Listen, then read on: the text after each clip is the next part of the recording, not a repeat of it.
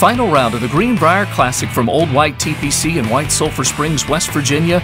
Johnson Wagner starting the day with a two shot lead, but a lengthy three plus hour rain delay, slowing things down, so it was a race to the finish. Jimmy Walker starting the final round in the final group, two off the lead, attacking here at five. Soft greens after all the rain had fallen. Walker would pick up birdie here, but that was the lone birdie of the day, so Walker would finish 11 under in total. Matt Jones, 8 under par, working the ninth. Jones, another of the players in the field searching for that all important first win, picks up birdie there to even up the round. He would have two more on the back nine, also getting to 11 under. Steven Bowditch, here's his chance at 10, birdie from the edge of the green, and that takes him to that all important 11 under total. Johnson Wagner, 14 under to start the day, had the upper hand after bogey at two picks up birdie at six, evening up the card. Meanwhile, Jonas Blixt, throwing his name into the hat, started the final round four off the lead. He was sitting at 10 under at the 54 hole mark, but all over the pin at nine.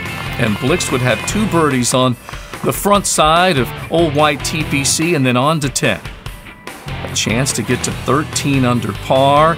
Picked up his first win on tour last year at the Frys.com Open and looking to charge for his second. Blixt now at the 12th after trouble off the tee. His third, and yeah. that right next to the flag within five feet. He would make that putt and Blixt in position once again. Meanwhile, Johnson Wagner with all sorts of trouble on the back nine. Bogeys at 11 and 13, and now faced with another at 15 after that poor chip out of the greenside rough. So Wagner looking at bogey while Blixt is looking at birdie here at 16.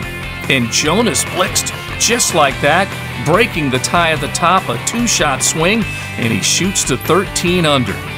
Now looking to finish at 18, trying to beat darkness and the rest of the field. A two putt par to get to the clubhouse at 13 under. Blixt tapping that in, and he holds off the four others to win by two shots, claiming the Greenbrier Classic. Join us for the opening round of the John Deere Classic, noon Eastern on SiriusXM PGA Tour Radio, also available on PGATour.com, 3 p.m. Eastern on Golf Channel.